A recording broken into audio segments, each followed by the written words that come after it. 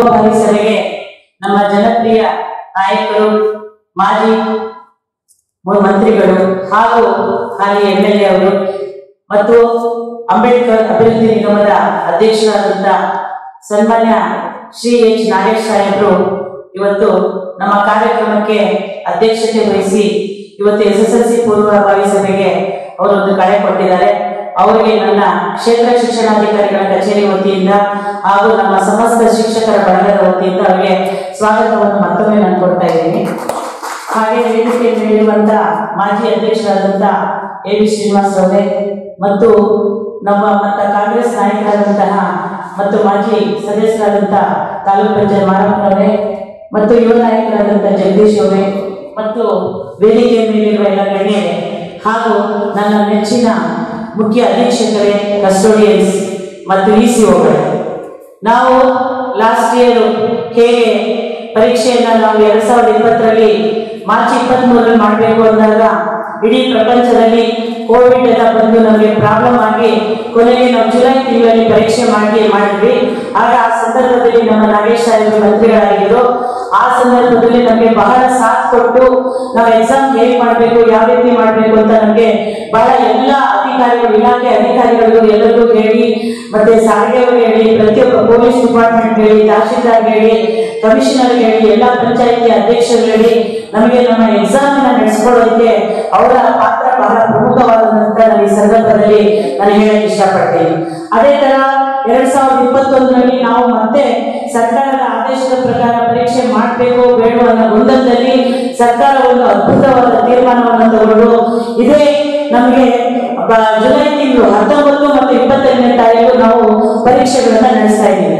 ಹಾಗಾಗಿ ಇವತ್ತಿನ ಪರೀಕ್ಷೆಗಳು ನಡೆಸ್ತಾ ಇರುವಂತಹ ಸಂದರ್ಭದಲ್ಲಿ ನಮಗೆ ಹೋದ ವರ್ಷ, ಕಳೆದ ವರ್ಷ ಹನ್ನೊಂದು ಪರೀಕ್ಷಾ ಕೇಂದ್ರಗಳನ್ನ ಮಾಡಿದ್ವಿ. ಈಗ ಎಸ್ ಒ ಸರ್ಕಾರ. ಒಂದು ಕೋಣೆಗೆ ಹತ್ತೆ ಮಕ್ಕಳು ಕೂರಿಸಬೇಕು ಆರಡಿ ಡಿಸ್ಟೆನ್ಸ್ ಇರಬೇಕು ಅಂತ ಆದೇಶ ಮಾಡಿರೋದ್ರಿಂದ ನಾವೇನ್ ಮಾಡಿದೀವಿ ಅಂತ ಇವಾಗ ಜಿಲ್ಲಾಧಿಕಾರಿಗಳ ಸಮ್ಮುಖದಲ್ಲಿ ಸಭೆ ಆಗಿದೆ. ನಮ್ಮ ತಾಲೂಕು ಮಟ್ಟದಲ್ಲಿ ಎರಡರಿಂದ ಮೂರು ಸಭೆ ಮಾಡಿದೀವಿ ನಮ್ಮ ಉಪನಿರ್ದೇಶಕರ ನೇತೃತ್ವದಲ್ಲಿ ಒಂದು ಕೂಡ ಎರಡು ಮೂರು ಸಭೆ ಮಾಡಿ ನಾವು ಪರೀಕ್ಷೆಯ ಕಾರ್ಯತಂತ್ರಗಳನ್ನ, ಪರೀಕ್ಷೆಗಳನ್ನ ಹೇಗ್ ಮಾಡಬೇಕು, ಯಾವ ರೀತಿ ಮಾಡಬೇಕು ಅನ್ನೋದ್ರ ಬಗ್ಗೆ ಮಾಡಿದೀವಿ ಅಷ್ಟೇ ಅಲ್ಲದೆ ಪರೀಕ್ಷೆ ಪೂರ್ವ ಸಿದ್ಧತೆಗಾಗಿ ನಾವು ಬಹಳಷ್ಟು ನಮ್ಮ ಸುರೇಶ್ ಕುಮಾರ್ ಸಾಹೇಬರು ಬಹಳಷ್ಟು ಎರಡು, ಮೂರು ಸರಿ, ನಾಲ್ಕು ಸರಿ ಮೀಟಿಂಗ್ ಮಾಡಿ ಜೂಮ್ ಮೀಟಿಂಗು ಮತ್ತೆ ವಿಡಿಯೋ ಕಾನ್ಫರೆನ್ಸ್ ಎಲ್ಲ ಮಾಡಿ ನಮಗೆ ಒಂದು ಸಾಥನ್ನು ಕೊಟ್ಟಿದ್ದಾರೆ. ಈ ಪರೀಕ್ಷಾ ಪದ್ಧತಿ ಹೋದ ವರ್ಷದ ತರ ಪರೀಕ್ಷೆ ಇರೋದಿಲ್ಲ. ಇದು ನಲವತ್ತು ಅಂಕಗಳ ಪರೀಕ್ಷೆ ಇರುತ್ತೆ. ಅದೇನಪ್ಪಾ ಅಂತಂದ್ರೆ ಮಕ್ಕಳಿಗೆ ಒಂದೇ ದಿನಕ್ಕೆ ಮೂರು ಸಬ್ಜೆಕ್ಟ್ ಅನ್ನ ನಾವು ಮಾಡ್ತಾ ಇದ್ದೀವಿ. ಹತ್ತೊಂಬತ್ತನೇ ಗಳು ಮಾಡ್ತಾ ಇದ್ದೀವಿ. ಸೈನ್ಸ್ ಮ್ಯಾಥ್ಸ್ ಮತ್ತೆ ಸೋಷಿಯಲ್ ಅನ್ನ ಮತ್ತೆ ಇಪ್ಪತ್ತೆರಡನೇ ತಾರೀಕು ನಾವು ಲ್ಯಾಂಗ್ವೇಜಸ್ ಅನ್ನ ಮಾಡ್ತಾ ಇದ್ದೀವಿ. ಅದಕ್ಕೆ ನಾವು ಇವಾಗಲೇ ನಮ್ಮ ಎಲ್ಲ ಮುಖ್ಯ ಶಿಕ್ಷಕರು, ನಮ್ಮ ಮುಳಬಾಗಿಲು ತಾಲೂಕಿನ ಖಾಸಗಿ ಸಂಸ್ಥೆಗಳಾಗಿರ್ಬೋದು, ಅನುದಾನಿತ ಆಗಿರ್ಬೋದು, ಅನುದಾನ ರಹಿತ ಸಂಸ್ಥೆಗಳು ಕೂಡ ನಾವು ಪ್ರತಿ ಸರಿ ಜೂಮ್ ಮೀಟಿಂಗ್ಗಳು ಮಾಡಿ ಎಕ್ಸಾಮ್ ಹೇಗ್ ಬರುತ್ತೆ ಪೇಪರ್ಸ್ ಹೇಗ್ ಬರುತ್ತೆ ಪರೀಕ್ಷೆಗಳಲ್ಲಿ ಮಕ್ಕಳು ಹೇಗ್ ಭಾಗವಹಿಸಬೇಕು ಅಂತ ನಮ್ಮ ಮುಖ್ಯ ಶಿಕ್ಷಕರು ಬಹಳ ಚೆನ್ನಾಗಿ ಮಕ್ಕಳ ಮನೆ ಮನೆಗೆ ಹೋಗಿ ಆನ್ಲೈನ್ ಮೂಲಕ ಮೊಬೈಲ್ ಮೂಲಕ ನಮ್ಮ ಕಿತ್ತೂರು ರಾಣಿ ಚೆನ್ನಮ್ಮ ಇರ್ಬೋದು ಮೊರಾರ್ಜಿ ದೇಸಾಯಿ ಹೈಸ್ಕೂಲ್ ಇರ್ಬೋದು ಆದರ್ಶ ಇರ್ಬೋದು ನಮ್ಮ ಏನು ಶಾಲೆಗಳು, ನಮ್ಮ ಎಲ್ಲ ಶಿಕ್ಷಣ ಸಂಸ್ಥೆಗಳು ಬಹಳಷ್ಟು ನನಗೆ ಸಾಥ್ ಕೊಟ್ಟು ಯಾವುದೇ ಪೋಷಕರು ಕೂಡ ನನಗೆ ಫೋನ್ ಮಾಡಿದೆ, ಪರೀಕ್ಷೆ ಹೇಗ್ ಮಾಡ್ತೀರಾ ಏನ್ ಮಾಡ್ತೀರಾ? ಅಂತ ಒಂದು ಕೇಳಿದೆ, ನನಗೆ ಆ ರೀತಿಯಾದಂತಹ ಸಾಥನ್ನು ಕೊಟ್ಟು ನಮ್ಮ ಎಲ್ಲ ಮುಳಬಾಗಿಲು ತಾಲೂಕಿನ ಪ್ರೌಢಶಾಲಾ ಮುಖ್ಯ ಶಿಕ್ಷಕರು ಎಲ್ಲ ಸಂಸ್ಥೆಗಳು ಸೇರಿ ಸಹಕಾರ ಕೊಟ್ಟಿದ್ದಾರೆ.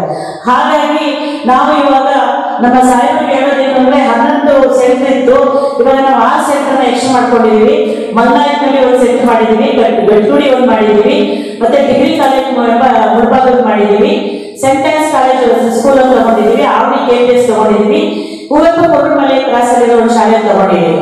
ಹಾಗಾಗಿ ನಾವೆಲ್ಲ ಫರ್ನಿಚರ್ಸ್ ವ್ಯವಸ್ಥೆಯನ್ನು ತುಂಬಾ ಚೆನ್ನಾಗಿ ಮಾಡ್ಕೊಂಡಿದೀವಿ. ಅಂತರವನ್ನ ಕಾಪಾಡ್ಕೊಂಡಿದೀವಿ. ಮತ್ತೆ ಪರೀಕ್ಷೆ ಹೇಗ್ ನಡೆಸಬೇಕು ಅಂತ ಎಲ್ಲರಿಗೂ ತರಬೇತಿಗಳನ್ನ ಕೊಟ್ಟಿದೀವಿ.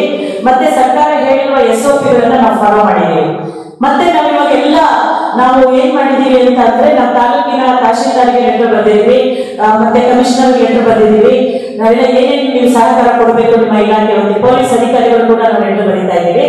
ಹೇಗೆ ನಾವು ಲಾಸ್ಟ್ ಇಯರ್ ಪರೀಕ್ಷೆ ಪರೀಕ್ಷಾ ನಾವು ಯಾವ ರೀತಿಯಾಗಿ ಆರೋಗ್ಯ ಸಿಬ್ಬಂದಿಯನ್ನು ಇಟ್ಕೊಂಡು, ನಮ್ಮ ಪಿ ಟಿ ಶಿಕ್ಷಕರನ್ನ ಇಟ್ಕೊಂಡು, ಸಾಮಾಜಿಕ ಅಂತರವನ್ನು ಕಾಪಾಡಿಕೊಂಡು, ಮಕ್ಕಳನ್ನ ಯಾವ ರೀತಿಯಾಗಿ ವೆಲ್ಕಮ್ ಮಾಡಬೇಕು ಅಂತ ಒಂದು ಸಿದ್ಧತೆಯನ್ನು ನಾವು ಮಾಡ್ಕೊಂಡಿದೀವಿ ಎಲ್ಲಾ ಪರೀಕ್ಷಾ ಕೇಂದ್ರಗಳಿಗೂ, ಪೀಠೋಪಕರಣಗಳು, ಆಮೇಲೆ ಯಾವುದೇ ಸಿ ಸಿ ಟಿವಿಗಳನ್ನ ನಾವು ಅಳವಡ ಅಳವಡಿಸ್ಕೊಂಡಿದೀವಿ ಇನ್ನೂರ ಅರವತ್ತು ಜನ ಸಿಬ್ಬಂದಿಯನ್ನ ನಾವು ನೇಮಕ ಮಾಡ್ಕೊಂಡಿದ್ದೀವಿ. ಪರೀಕ್ಷಾ ಕೇಂದ್ರಗಳಿಗೆ ಇನ್ನೂರ ಅರವತ್ತು ಸಿಬ್ಬಂದಿಯನ್ನು ನೇಮಕ ಮಾಡ್ಕೊಂಡಿದ್ದೀವಿ. ಒಂದು ಸಂತೋಷದ ವಿಷಯ ಏನು ಅಂತಂದ್ರೆ ಮೇ ಇಪ್ಪತ್ತಾರನೇ ತಾರೀಕಿಂದ ಇಪ್ಪತ್ನಾಲ್ಕನೇ ತಾರೀಕು ನಾವು ಜಿಲ್ಲಾಧಿಕಾರಿಗಳ ಆದೇಶದಂತೆ ನಮಗೆ ತಾಲೂಕು ನಮ್ಮ ತಹಶೀಲ್ದಾರ್ ಅವರ ಸಮ್ಮುಖದಲ್ಲಿ ಅವರನ್ನ ಮನವಿ ಮಾಡಿಕೊಂಡು ಸುಮಾರು ಐನೂರು ಜನಕ್ಕೆ ಲಸಿಕೆಯನ್ನು ಹಾಕಿಸಿದ್ದೀವಿ ನಮ್ಮ ಪರೀಕ್ಷಾ ಸಿಬ್ಬಂದಿ ಪ್ರತಿಯೊಬ್ಬರು ಒಂದು ಹಂತದ ಲಸಿಕೆಯನ್ನು ಹಾಕಿಸ್ಕೊಂಡಿದ್ದಾರೆ. ಎರಡು ಹಂತದ ಲಸಿಕೆಯನ್ನು ಅರ್ಧ ಜನ ಹಾಕಿಸ್ಕೊಂಡಿದ್ದಾರೆ. ಸರ್ಕಾರ ಹೇಳಿದೆ ಯಾರು ಪರೀಕ್ಷೆಯ ಸಿಬ್ಬಂದಿಯನ್ನ ನಾವು ಆಯ್ಕೆ ಮಾಡ್ತೀವೋ, ಕಂಪಲ್ಸರಿಯಾಗಿ ಅವರು ಲಸಿಕೆಯನ್ನು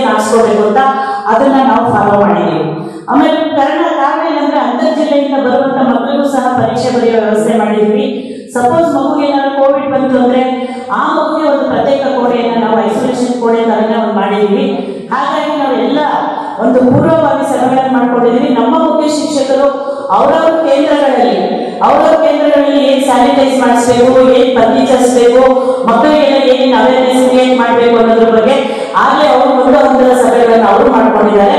ರೋಟರಿ ಸಂಸ್ಥೆಯವರು ನಮಗೆ ಮೂರು ಸಾವಿರ ಮಕ್ಕಳು ಎಕ್ಸಾಮ್ ಕೂತ್ಕೊಳ್ತಾ ಇರೋದ್ರಿಂದ ರೋಟರಿ ಸಂಸ್ಥೆಯವರು ನಮಗೆ ಇವಾಗ ಮಾಸ್ಕ್ ಅನ್ನ ಕೊಡ್ತಾ ಇದ್ದಾರೆ. ಅವರು ಕೂಡ ಸಾಥ್ ಕೊಟ್ಟಿದ್ದಾರೆ. ಮತ್ತೆ ಜೂಮ್ ಮೀಟಿಂಗ್ ಅಲ್ಲಿ ರೋಟರಿ ಸಂಸ್ಥೆಯವರು ನನ್ನ ಹತ್ರ ಮಾತಾಡಿದ್ರು. ಅವರು ಕೂಡ ನಮ್ಮ ಮಕ್ಕಳಿಗೆ ಎಸ್ ಎಸ್ ಎಲ್ ಸಿ ಮಕ್ಕಳಿಗೆ ಆನ್ಲೈನ್ ಕ್ಲಾಸಸ್ ಅನ್ನ ಮಾಡಿ ನಮಗೆ ಸಾಥ್ ಕೊಟ್ಟಿದ್ದಾರೆ. ರವೀಂದ್ರ ಅನ್ನೋರು ರೋಟರಿ ಸಂಸ್ಥೆಯವರು ಬಹಳ ಚೆನ್ನಾಗಿ ನಮಗೆ ವ್ಯವಸ್ಥೆ ಮಾಡಿಕೊಟ್ಟಿದ್ದಾರೆ. ಸಂತೋಷ ವಿಷಯ ಏನಪ್ಪಾ ಅಂದ್ರೆ ಮಾದರಿ ಪ್ರಶ್ನೆ ಪತ್ರಿಕೆಗಳನ್ನ ನಮ್ಮ ಮುಖ್ಯ ಶಿಕ್ಷಕರು ಮಕ್ಕಳಿಗೆ ತರಬೇತಿ ಕೊಟ್ಟಿದ್ದಾರೆ. ಎಕ್ಸಾಮ್ಸ್ ಅನ್ನ ಮಾಡಿಸಿದ್ದಾರೆ. ಎಕ್ಸಾಮ್ ಮಾಡಿಸ್ತಾ ಇಲ್ಲದೆ ಪರೀಕ್ಷೆಗೆ ಭಾಗವಹಿಸ್ತಾರೆ. ಆಮೇಲೆ ಇವಾಗ ನಮಗೆ ನಿನ್ನೆ ಒಂದು ಇವರು ಇವರು ತಾಲೂಕು ಯಾರು ಬೇರೆಯವರು ನಮಗೆ ಸಂಸ್ಥೆಯವರು ಕೊಟ್ಟರು ಅಂತ ಹೇಳಿ ಡೊಮೇನ್ಸ್ ಅನ್ನ ಕೊಟ್ಟಿದ್ದಾರೆ. ಎಲ್ಲಾ ಪರೀಕ್ಷಾ ಕೇಂದ್ರಗಳಿಗೂ ಡೊಮೇನ್ಸ್ ಕೊಡ್ತಾ ಇದ್ದೀವಿ. ಮತ್ತೆ ಸ್ಯಾನಿಟೈಸರ್ ಅನ್ನ ಕೊಡ್ತಾ ಇದ್ದೀವಿ. ಆಮೇಲೆ ಎಸ್ ಎಸ್ ಎಲ್ ಸಿ ಕೊಟ್ಟಿದ್ದ ಸ್ಕ್ಯಾನರ್ ಅನ್ನು ಕೂಡ ನಮಗೆ ಕೊಡ್ತಾ ಇದ್ದಾರೆ. ಸ್ಯಾನಿಟೈಸರ್ ಕೊಡ್ತಾ ಇದ್ದಾರೆ. ನಾನು ಮನವಿ ಮಾಡ್ಕೊಳ್ಳೋದೇನೆಂದ್ರೆ ನಾವೇನು ನಿಮ್ಮ ಅಧ್ಯಕ್ಷತೆಯಲ್ಲಿ, ನಿಮ್ಮ ಮಾರ್ಗದರ್ಶನದಲ್ಲಿ, ನಿಮ್ಮ ನಾಯಕತ್ವದಲ್ಲಿ ನಾವು ಕೂಡ ಈ ವರ್ಷ ಒಳ್ಳೆ ಅದ್ಭುತವಾದ ಪರೀಕ್ಷಾ ಕಾರ್ಯವನ್ನು ನಾವು ಮಾಡ್ತೀವಿ. ತಮ್ಮ ಸಹಕಾರ ನಮಗೆ ಬೇಕು ಅಂತ ಕೇಳ್ಕೊಳ್ತಾ ನಾವೆಲ್ಲ ಸರ್ಕಾರದ ಆದೇಶಗಳನ್ನು ನಾವು ಪಾಲನೆ ಮಾಡ್ತಾ ಇದೀವಿ ಅಚ್ಚುಕಟ್ಟಾಗಿ ನಾವೆಲ್ಲರೂ ಸೇರಿ ಇಲ್ಲಿ ಬಂದಿರುವಂತ ಎಲ್ಲ ಖಾಸಗಿ ಸಂಸ್ಥೆಗಳಾಗಿರ್ಬೋದು ಅನುದಾನ ಅನುದಾನ ರಹಿತ ಇರ್ಬೋದು ಸರ್ಕಾರಿ ಸಂಸ್ಥೆಗಳು ನಾವೆಲ್ಲರೂ ಸೇರಿ ನಮ್ಮ ಪ್ರಭಾವಿ ಮತ್ತೆ ನಾವು ರಿಸಲ್ಟ್ ಅನ್ನ ಜೈಲಿನಲ್ಲಿ ನಾವು ಬರೀ ಪಾಸ್ ಮಾಡಿದ್ರೆ ಅಂತ ಸರ್ಕಾರ ಹೇಳಿದ್ರೆ ಸಾಕು ಎ ಗ್ರೇಡ್ ಬರಬೇಕು, ಬಿ ಗ್ರೇಡ್ ಬರಬೇಕು ಮಕ್ಕಳು. ಪಾಸ್ ಆದ್ರೆ ಮಕ್ಕಳಿಗೆ ತುಂಬಾ ತೊಂದರೆ ಆಗುತ್ತೆ. ಆ ಮಾನದಂಡಗಳನ್ನು ಇಟ್ಕೊಂಡು ನಾವು ಕೆಲಸ ಮಾಡ್ತೀವಿ ಅಂತ ಹೇಳ್ತಾ, ತಮ್ಮ ಸಹಕಾರ ನಮಗೆ ಬೇಕು ಅಂತ ಹೇಳ್ತಾ, ತಡವಾಗಿ ನಾನು ನನ್ನ ಕಣ್ಣಿನ ಐ ಆಪರೇಷನ್ ಆಗಿರೋದ್ರಿಂದ ಸ್ವಲ್ಪ ಡ್ರಾಪ್ಸ್ ಆಗೋದ್ರೆ ಸಾಹೇಬರು ಬಂದಿದ್ದು ಗೊತ್ತಾಗ್ಲಿಲ್ಲ. ದಯವಿಟ್ಟು ಸಾಹೇಬರು ಕ್ಷಮಿಸಬೇಕು.